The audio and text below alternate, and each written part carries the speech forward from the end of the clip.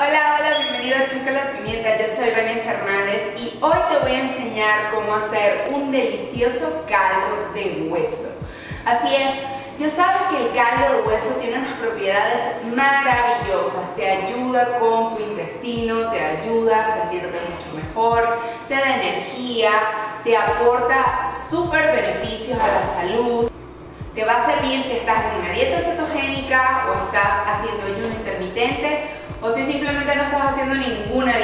pero quieres nutrir tu cuerpo desde dentro.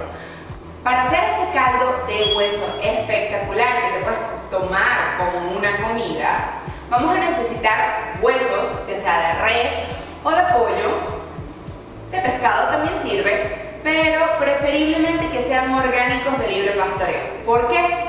Porque este ganado tiende a ser más saludable, no le inyectan nada a, estos animales, entonces todo como que su ser está limpio y bueno para que tú te lo comas y disfrutas de todos esos beneficios. Siempre procuremos usar los mejores ingredientes para hacer nuestras preparaciones.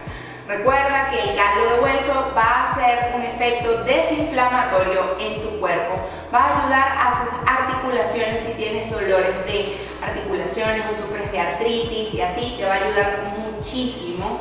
Aparte que va a ayudar a tu cuerpo a relajarse, desinflamarse y estar en armonía perfecta. Entonces trata de que todos los ingredientes sean de la mejor calidad.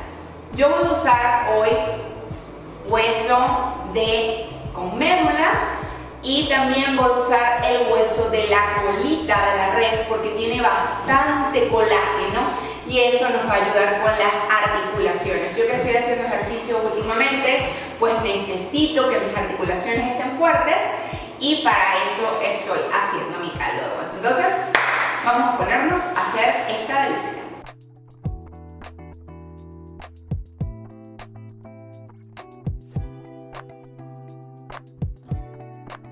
Empieza por colocar en una olla todos tus huesos, preferiblemente huesitos limpios o si quieres como yo agregar un poco más de colágeno, agrega los huesitos de la cola.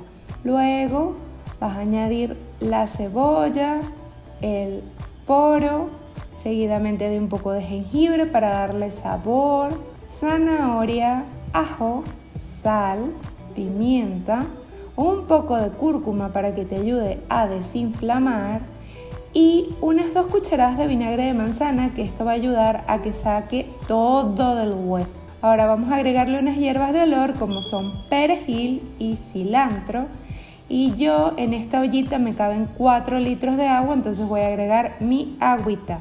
La voy a cerrar, la voy a programar y los voy a poner a cocer por alrededor de unas 6 a 9 horas. Si lo haces en una olla convencional, colócalos a fuego muy lento y déjalos cocinar por alrededor de 12 horas.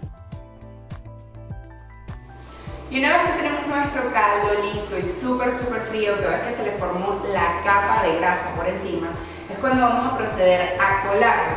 Yo tengo aquí un bol que tiene puntita para poder después servirlo en mis contenedores y así y también tengo un colador bien finito. Entonces voy a empezar a poner todo aquí para que drene todo el caldo y así es más fácil sacar todo esto.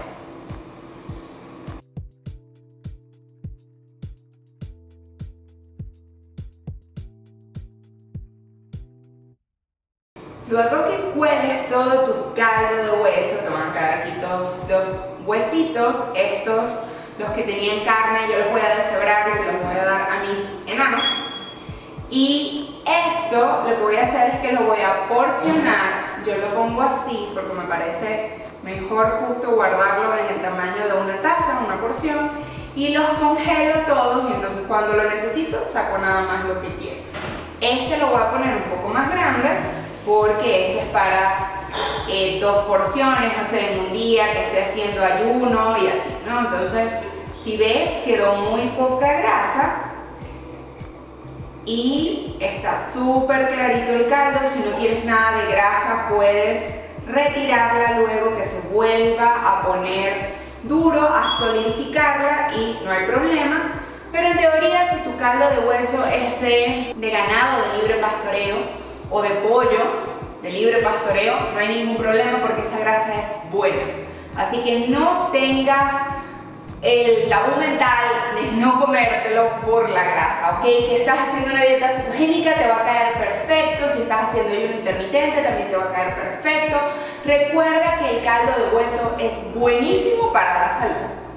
Y aquí tengo uno que acabo de calentar para yo tomarlo y a mí me encanta con un poquito de jugo de limón. Entonces le exprimo un limón a mi caldo o medio limón justo cuando esté caliente, bueno, tibiecito, porque la idea es que te lo tomas ya para romper el ayuno o como una comida y así. Listo. Mira, qué belleza.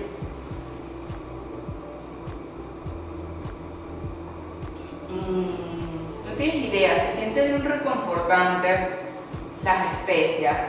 La cúrcuma te va a ayudar a desinflamarte el jengibre te va a aportar energía, el limón le da un acidito espectacular, que le corta ese sabor a carne en dado caso si no te gusta mucho. Espero te encante la receta, la prepares en casa y disfrutes de los beneficios de un muy buen caldo de huesos. Estas máquinas hacen la diferencia porque te ayudan a, de una olla convencional que se tardaría unas 12 horas en que te haga un buen caldo de hueso, a que lo puedas tener en menos unas 6 horas, 9 horas. Lo pones a cocer lentamente, te cuestas a dormir, te despreocupas de eso y a la mañana siguiente tienes tu perfecto caldo de hueso. Espero te encante la receta, la hagas en casa. Nos vemos en una próxima receta de chocolate pimienta, buscando el equilibrio y endulzando tus días.